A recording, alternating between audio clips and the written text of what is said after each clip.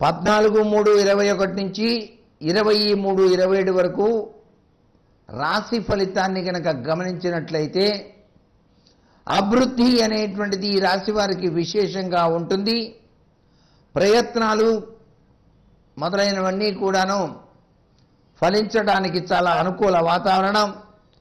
తిరుగులేని జీవితం మీ సొంతం చేసుకోవటానికి మీరు చేసే ప్రయత్నాలు సఫలీకృతం అవుతాయి ఉద్యోగంలో శ్రేష్టవంతమైనటువంటి ఫలితాల్ని మీరు సాధిస్తారు. భూగృహ వాహనాది యోగాలున్నాయి. వ్యాపార పరంగా బాగుంటుంది.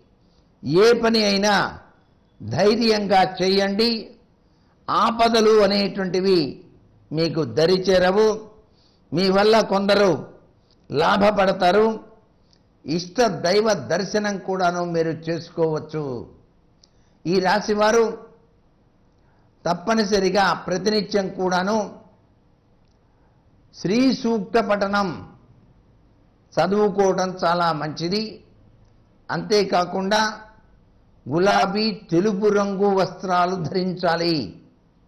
ఏదైనా ముఖ్యమైనటువంటి పని మీద వెళ్ళేటప్పుడు దేహి సౌభాగ్యమారోగ్యం దేహిదేవి పరం సుఖం రూపం దేహి జయం దేహి యశో దేహి దిశోజి అని ధ్యానించి బయలుదేరటం ఉత్తమోత్తమమైన ప్రభావాన్ని ఇస్తుంది